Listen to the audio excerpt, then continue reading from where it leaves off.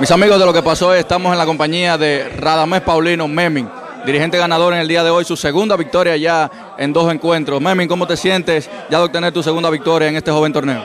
Primeramente, le doy las gracias a Dios y a la confianza a la directiva del CDP, eh, con su presidente Joselito Ureña y Carlos Estrella, gerente.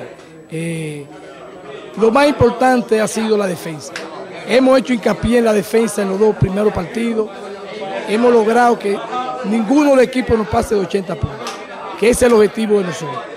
nosotros sabemos que podemos insertar más de 80 puntos y estamos a la perfección en ese porcentaje de puntos. Meming, tu segundo año con el Club Domingo Paulino, el año pasado la final, perdieron una gran final contra el Sameji. ¿Cómo te sientes ya en tu segundo año y cómo van, cómo van los, los ánimos que en este torneo ya? Un team más, más confiable, eh, la parte técnica, eh, excelente trabajo de Alberto Cabrera como asistente, Majara, Rufino.